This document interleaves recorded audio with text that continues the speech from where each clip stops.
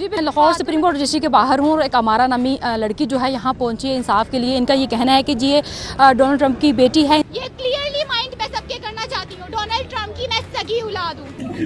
मैं कब हो गया ये? डोनाल्ड ट्रंप की औलाद हूँ आपका इशू क्या है? आपको कैसे पता कि आप डोनाल्ड ट्रंप की बेटी हैं? मैं सबसे पहले पाकिस्तान की सारी आवाम से और यहाँ के मौलाना साहब से कहना चाहती हूँ कि मेरे दिल से अ, मैं इस्लाम और मुसलमान हूँ। पाकिस्तानी मुस्लिम औलाद। अरे पेंगविन डोनाल्ड ट्रंप के पास तेरी माँ गई थी या डोनाल्ड ट्रंप आया था तेरी माँ के पास? तेरे को पैदा करने के लिए। और एक बात तो बता तेरे पैदा होने के बाद तेरी माँ ने हलाला करवा लिया था? नहीं क्योंकि डोनाल्ड ट्रंप के पास जाने के बाद तो तेरी माँ हराम हो गई होगी। इस बच्ची का गेटअप देख रहे हैं इस बच्ची का वे ऑफ़ टॉक देख रहे हैं। और ट्रंप को क्या पड़ी थी कि वो देखे ना ये सुन सोचने समझने की एक बात है। उसके बाद मैं अल्हम्दुलिल्लाह रब्बी शहली सदरी वसिली अमरी वाहलुल उक्तदम लिसानी यफकाहु कौली। अबे क्या बोल रहा है? पिलियल बोल पिलियल बोल। रब्बी जितनी इल्मा मैं मुसलमान हूँ। तुम्हारा तो सांस लेना भी हराम है। मेरे ख्याल से ये साइकोटिक बिहेवियर है और अ, मतलब कोई नॉर्मल इंसान खड़े होके बात और ज- आप उनके अपीयरेंस भी देख सकती हैं। आप अपना ही रीजन या अपनी ही कंट्री का आप एक मज़ाक उड़वा रहे हैं। सही बात है। और अंग्रेज़ों के साथ जो अंग्रेज़ आते हैं मुझे देखते हैं कि ये लड़की यहाँ क्या कर रही है मैं इस्लाम पसंद हूँ मैं अमन पसंद हूँ। अक्सर लोग समझते हैं कि मुसलमान नहीं हूँ जिसकी वजह से मुझे बार बार जो बार बार टॉर्चर किया जाता है। अल्हम्दुलिल्लाह एक मौला मौलाना साहब जो थे बहुत अच्छे हैं मेरे टीचर हैं सारे लीगली हैं। वो शायद लड़की पागल हो गई है क्योंकि ऐसे तो कोई भी किसी को अपने मतलब बाप बना सकते इस तरह तो मैं भी कह सकती हूँ।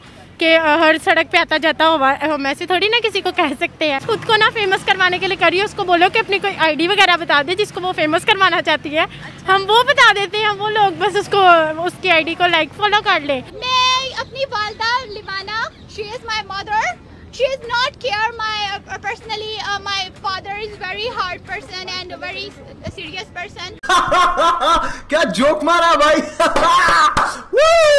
मैं बचपन अगवा होके पाकिस्तान आई हूँ। मुझे शबाज शरीफ अंकल ने अ, इंडिया में जब असम्बली में बहुत उछल कूद हुई थी वहाँ के गाने और वो देख के मैं वहाँ फंस गई थी बच्ची थी मगर मैंने पूरी दुनिया पैदल चल के आहिस्ता आहिस्ता पार की। जंगलों से निकलते निकलते बीच में काफ़ी टाइम मेरे बहुत स्पेंड किया। अभी रिसेंटली अमेरिका के अंदर इलेक्शंस हुए हैं जिसमें दूसरी दफ़ा डोनाल्ड ट्रंप प्रेसिडेंट बन चुके हैं अमेरिका के। उसके बाद सोशल मीडिया पर एक बड़ी अजीब सी वीडियो गर्दिश में है जहाँ पर एक पाकिस्तानी बच्ची कह रही है कि डोनाल्ड ट्रंप मेरे वालिद साहब है मैं उनकी सगी औलाद हूँ। वो हमेशा डोनाल्ड ट्रंप मेरी माँ को कहता था you are careless you are careless तुम मेरी बेटी की नहीं केयर कर सकती. अच्छा।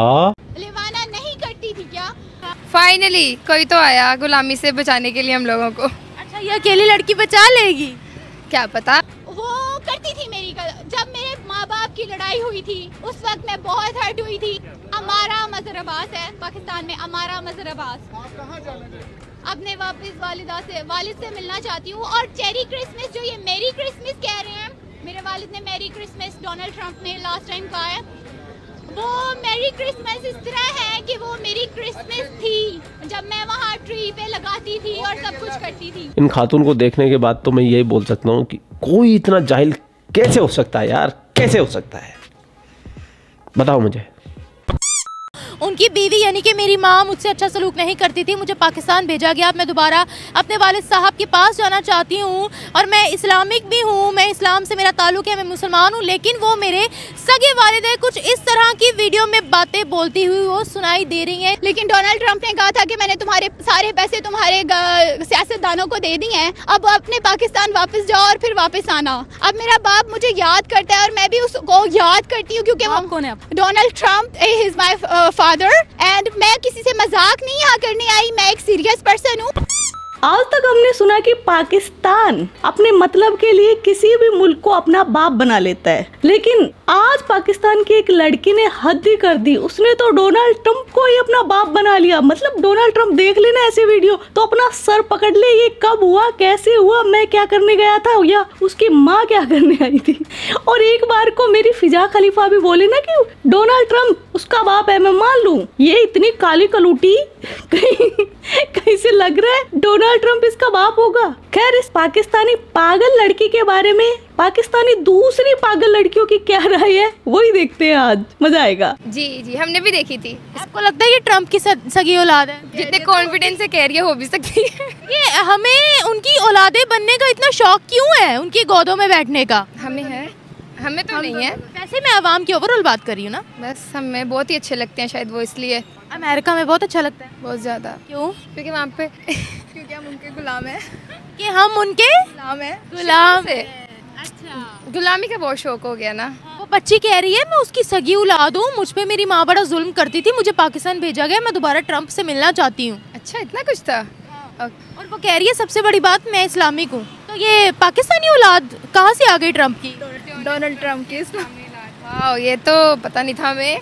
पता चल गया? अब पता चल गया थोड़ा। क्या कहोगे? नो वर्ड्स डोनाल्ड ट्रंप की विरासत में एक पाकिस्तानी का हक भी आ गया है। फाइनली कोई तो आया गुलामी से बचाने के लिए हम लोगों को। अच्छा ये अकेली लड़की बचा लेगी? क्या पता उससे पूछना पड़ेगा। आपको क्या लगता है? टाइम प्लीज़ बचा लेगी। बेटी है ना उनकी। आपको क्या लगता है वो बच्ची ने सोशल मीडिया पर एक हाइप क्रिएट करने के लिए खुद लाइमलाइट में आने के लिए ये बात की या वो मेंटली इल थी? मैं फ़ेमस करना कराना चाहती हूँ। आप आप अपनी राय दें।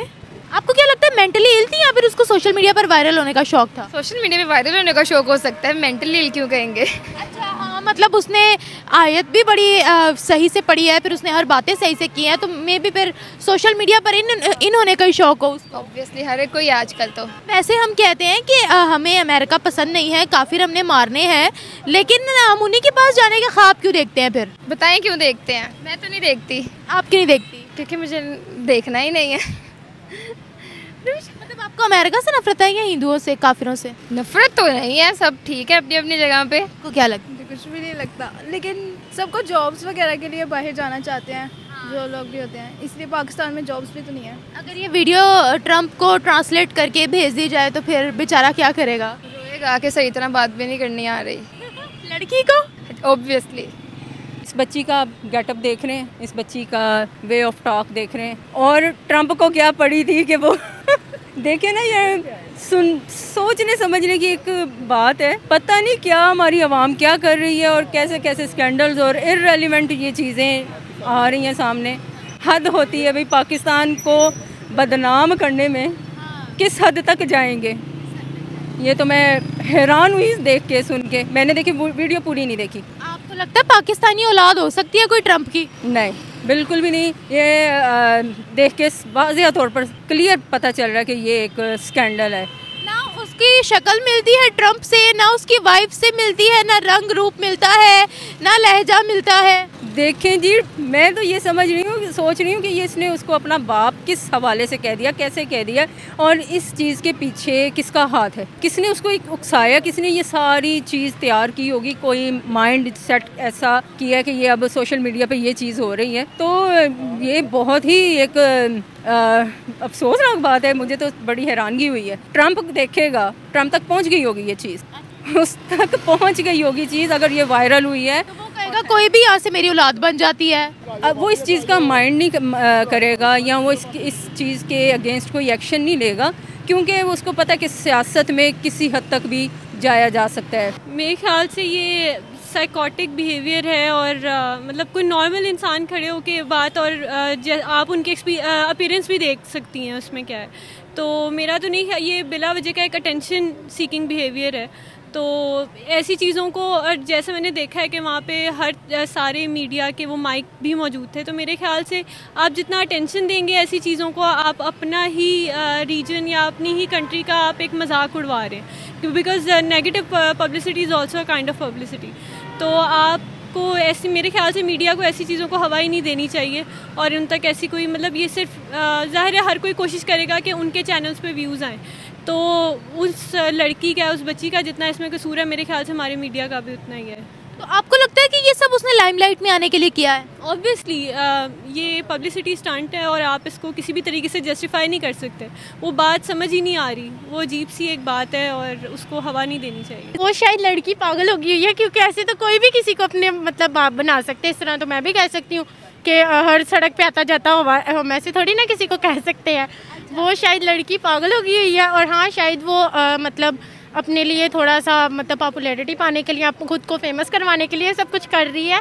और देखो, अगर कोई डोनाल्ड ट्रंप की बेटी होगी तो वो जारी से बात है, वो अमेरिका में ही होगी, उसका पाकिस्तान क्या काम है और देखो मुझे लगता है कि वो बस खुद को ना फ़ेमस करवाने के लिए करिए उसको बोलो कि अपनी कोई आईडी वगैरह बता दे जिसको वो फ़ेमस करवाना चाहती है। अच्छा। हम वो बता देते हैं हम वो लोग बस उसको उसकी आईडी को लाइक फॉलो कर ले।